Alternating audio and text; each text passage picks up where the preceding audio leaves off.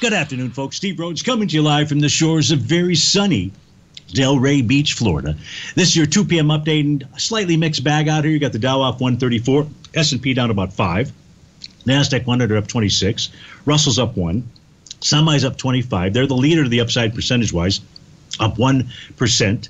Spot Volatility is trading below its 50-day exponential moving average. That's a positive for the uh, S&P. Gold's up 11 bucks. Silver's up 25 cents. Light sweet crude is now 45 pennies. Natural gas up 55 cents. That's a big move there. That's 9% to the upside. And the 30-year Treasury is up about a half a point, trading out at 139.26. So Let's uh, we'll take a look at the indice charts here, but I'm going to first uh, show you the chart that perhaps might be the most important for the Nasdaq 100, and that's in taking a look at Apple. No surprise there, but the surprises are not really a surprise, but the piece of information. So what we've got on Apple, you have a daily buy the D point pattern.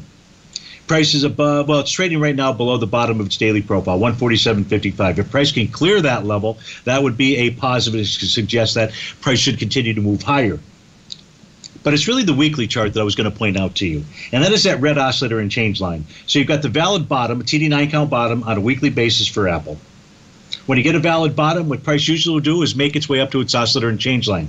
That is exactly what has taken place this week. Now that oscillator and change line changed colors about four weeks ago. When it changes colors, that's the that's a real confirmed signal that price net line want to go ahead and meet. A little meet and greet.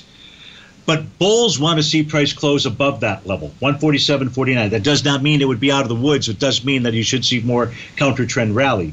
Right now, if price remains under 147.50, that says on a weekly basis, even though you've got a bottoming signal, you have a falling price oscillator below zero. So overall, the signal for Apple would be neutral.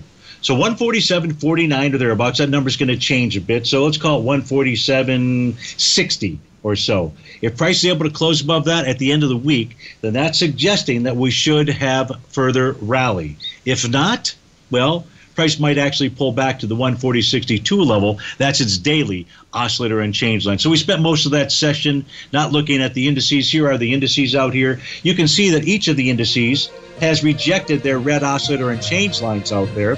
So that's what's transpired with the exception being the Dow Jones Transportation Index out here holding that line says that more rally could unfold. Stay tuned, folks. Your favorite polar bear, David White's up next. Have a wonderful Wednesday. I'll see you tomorrow on Terrific Thursday.